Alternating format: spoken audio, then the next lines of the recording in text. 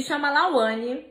A Lawane também tem disponível preta, eu tô mostrando a loira dela, porque eu quero mostrar mais modelos, então não tô mostrando todas as cores. Mas eu sempre vou falar pra vocês, tá?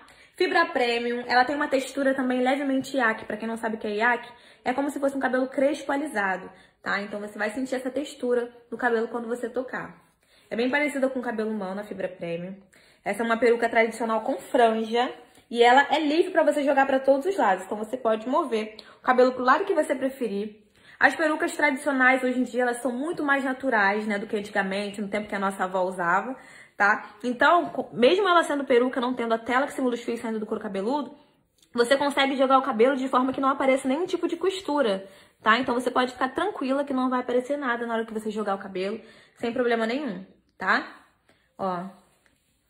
Essa daqui é a Lawane e, gente, adivinha, ela é um cabelão, 60, 60 a 65 centímetros de comprimento, ela é bem longa, tá? E ela custa somente 250 reais. É isso mesmo, né? É. 250 reais, meninas.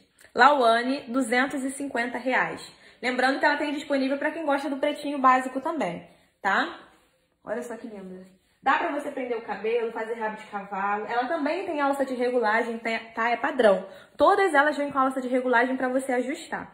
E aí eu tô colocando assim só por cima pra vocês, mas antes de vocês colocarem, vocês vão ajustar a alcinha, tá bom?